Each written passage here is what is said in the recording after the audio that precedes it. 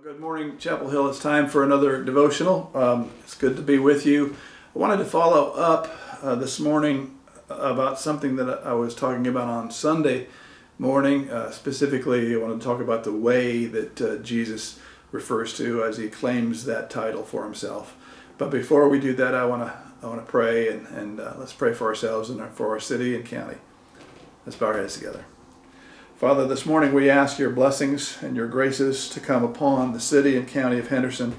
We ask in the name of Jesus that you would touch the souls that are represented here. Our plea, earnest plea for you is that you would have mercy on us as we minister, and you would have mercy on this town and this county as uh, they receive your graces.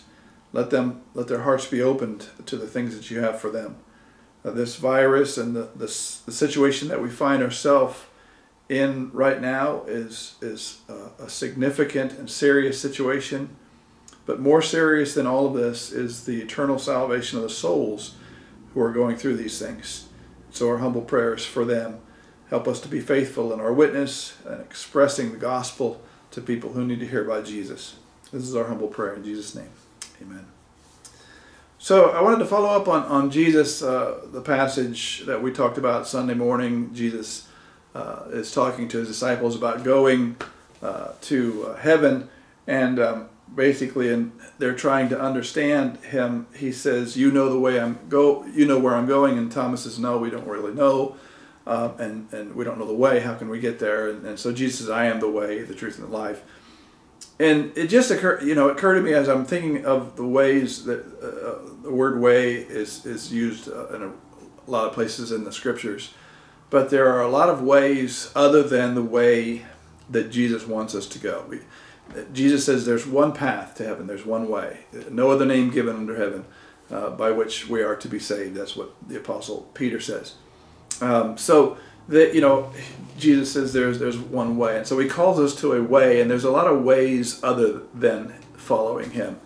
And um, we are constantly bombarded with ways. And i just thought of a couple of of roads that were taken in the new testament um, that were actually away from from jesus. The the, the, the road uh, to emmaus is, is one of them. We, we think of that text fondly as we hear about the road to Emmaus and, and those disciples on that road. But when we think about where they were going, these two disciples on the road to Emmaus, they were actually, if you look at the story, they were actually going away from Jerusalem, away from uh, this context where Jesus had ministered for three years and had discipled these two that are on this road for, for I don't know how, who knows how long they were disciples but um, he had discipled them and that kind of thing. And when he died and was buried, these two disciples took this road to Emmaus, which is was a road away. It was a road basically back to something they had known before, away from this stuff that Jesus had called us to.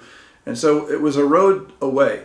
Um, and it was a, it was a road of despair. It was a road of let's let's give up on this Jesus thing. We, it was kind of neat to have him minister to us, and he did some miracle miracles and wonderful things, and taught some neat things. But he's he's dead now, he's in the tomb. So let's just go back to the way things were. And Jesus meets them on the road, talks to them a little bit, kind of rebukes them a little bit, says, basically says, how, how, how can you not understand that the Christ was was to suffer these things. And he kind of uh, tells the story and, and about himself and kind of explains it in better detail, I guess, than they understood before. And then he has communion with them, and he lifts up the bread, and breaks, as he breaks the bread, their eyes are open. They see it's Jesus, and, and then he disappears.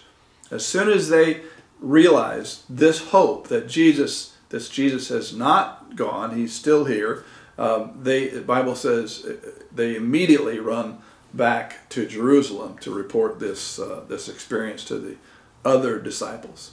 Um, so you, you, find these two disciples on a way that's away from, from Jesus, and he turns them around. He, he, he says, now wait a minute, let me explain some things to you. And he speaks truth to them in such a way that they have insights uh, that they didn't have before, and because of these insights that they have received from him, uh, they immediately turn back to the way that they were supposed to be going, that one way, the path of, of Jesus.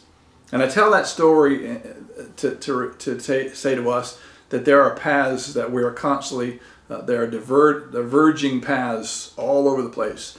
And we will constantly be called to places other than where Jesus wants us to go. And the challenge for us as disciples is to keep following him, even when the night looks darkest, even when the despair seems to be overwhelming, even those times when the clouds are not letting the sun to shine through, we will still follow Jesus and we will still stay on the way. And so that's our my, uh, my prayer for all of us. So let's bow our heads together.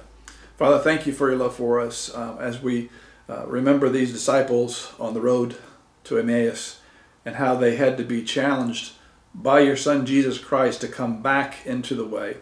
I pray that you would call us back when we wander, when we stray, when we lose heart, and when we give up taking the pilgrim way, and we go to paths that seem to be much easier than the path that we're on.